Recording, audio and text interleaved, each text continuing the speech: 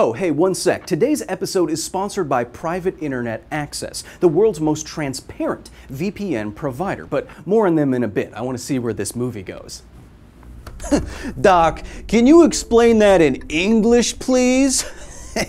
in layman's terms, what the engine. Whoa, whoa, whoa, Doc, can you explain that in English, please?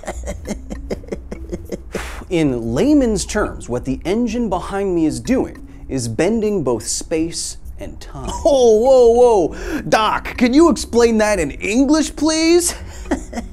um, uh, I can explain it like this. So imagine that all of space and time, space time is like this sheet of paper. I want to get from point A to point B, but that distance is too vast to travel in one human lifetime. So instead, what the engine does is bend or fold both space and time and then traverse it in a shorter amount of time than should be possible. Technically, faster than light. It's called a wormhole, and I know that the engine works because I built it. Stop. Okay, everyone stop. That, that's enough. You have to be getting sick of this little demonstration too, right? I mean, the whole wormhole is a pencil through paper thing is fine enough, but why does any sci fi anything dealing with wormholes have to use this exact same demonstration? I think it's high time that we update it based on what we know about the universe.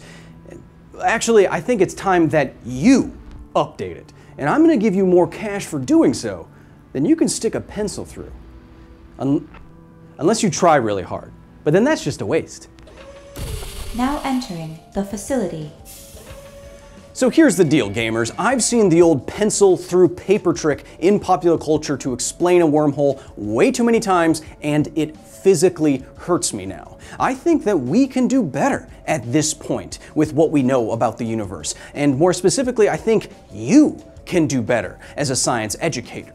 Behold, the Wormhole Challenge. What I want from you is to film a new wormhole demonstration. It has to be simple enough to show a general audience and it must be mostly accurate. Your analogies have to be good ones. Shoot the video, edit it however you want, and upload it to your YouTube or TikTok or whatever gives you those precious hits of serotonin that you can't seem to find lately. Then go to this website and send me a link to your video with the subject line Wormhole Challenge.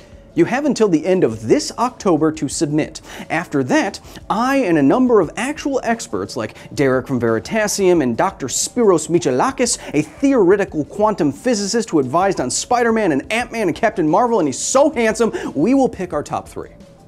Why would you go through the hassle of doing all this? Well, in addition to getting your demonstration featured in one of my future videos, in addition to giving real experts who work with Hollywood a great idea, I will be giving three of you, let's say, an educational grant. That's right, the top three video submissions will be splitting, awkwardly, $5,000. Can you submit more than one video? Can you submit as a team? Can you film everything just on your phone and submit it? Yes, yes, yes, yes, and yes, but the answers to all of your questions are at this website right here.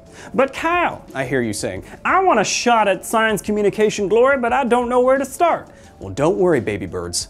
I'll feed you. Let's get a little bit of a wormhole refresher first. oh, hello. I'm award winning science educator and Steve Rogers before I took that super serum, Kyle Hill. Do you know what I hate? I hate knowing that probably every move I make on the internet is being tracked. I hate knowing that people are watching me search for death threat bunnies. Just cute little bunnies. That's why the sponsor of today's episode and what I'm using is private internet access.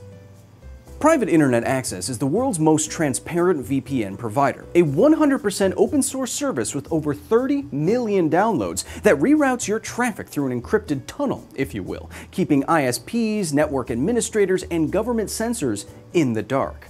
Private internet access never records or stores your data, and their no logs policy has been proven multiple times in court, I'll have you know. Their service blocks ads and trackers, supports torrenting and peer to peer file sharing, and works with every large streaming service. So now you can watch that latest not so well made cash grab true crime series anywhere in the world. Private internet access protects up to 10 of your devices at the same time. And that's already way more than you have. Who are you? An overworked and stressed out social media manager? Probably not.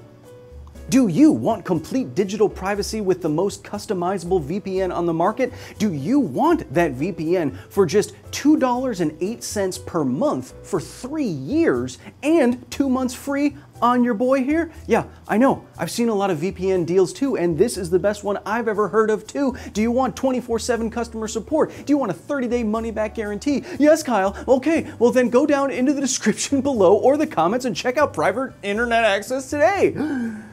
Now back to sciencing wormholes. Securely. You can't track me. And don't try, please.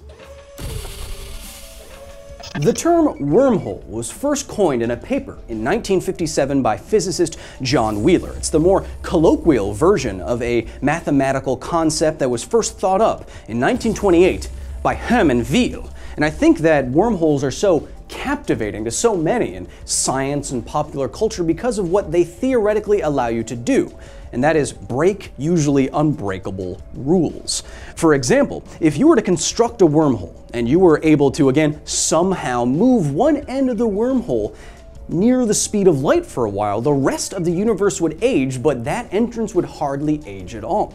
Then all you'd have to do is step through that younger entrance and you'd emerge decades before, when it was first constructed. Yes, backwards time travel. And of course, famously, as we're discussing today, you can technically break the speed of light by going from one end of the universe to the other in an instant using a wormhole. This is what all those pencils and papers were trying to show you. Of course, us being science types, we need to note the caveats here. Even though wormholes and what they're able to do are valid solutions to Einstein's famous field equations and general relativity, no one's ever seen a wormhole. We don't have any empirical evidence of them. Right now, they're entirely consequences of mathematics.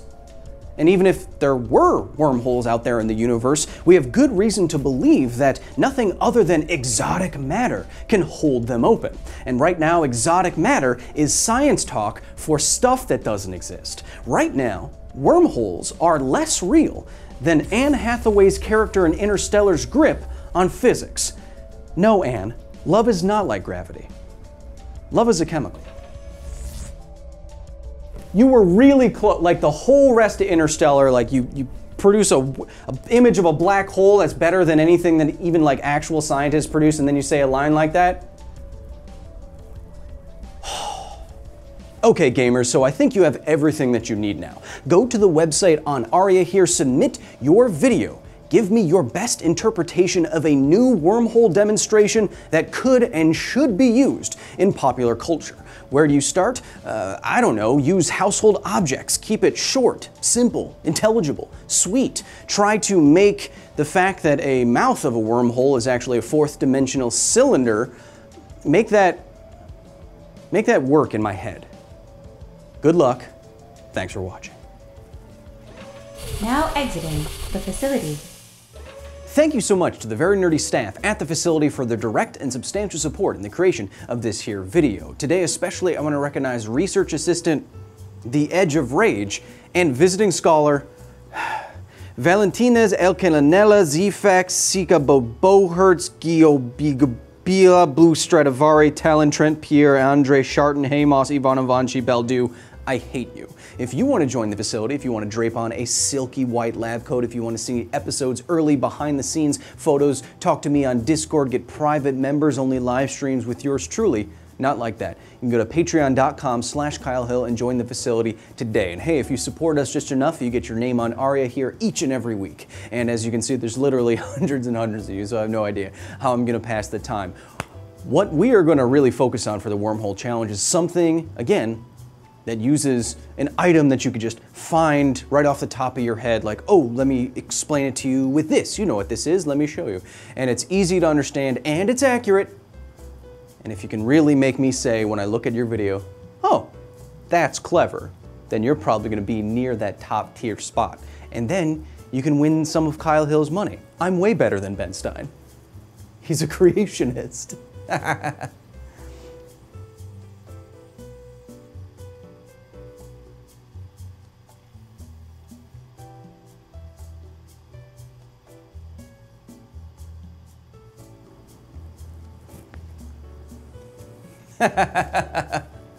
Thanks for watching.